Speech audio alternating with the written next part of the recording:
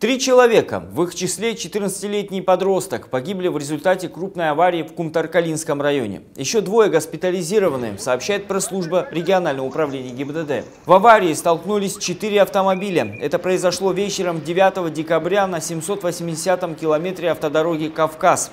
По факту ДТП возбуждено уголовное дело.